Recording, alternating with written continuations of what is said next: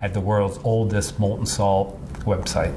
If you find the original copy of the Generation 4 report, my URL for my website is listed as the only reference. I'm a guy in a garage.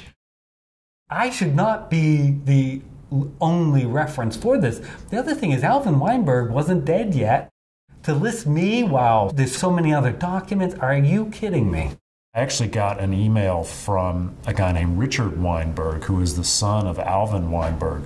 Well, are your father's papers somewhere? Have they been, you know, examined? And he said, most of my father's papers are at the Oak Ridge Children's Museum. And so I ended up going back to Oak Ridge.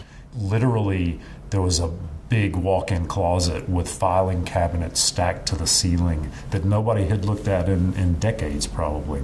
I'm realizing as I go through these Oak Ridge documents how limited their distribution was. On the very last page of everyone, there's a distribution. There's about 40 people. And you're like, so best case scenario, 40 people read what I'm holding in my hand 50 years ago.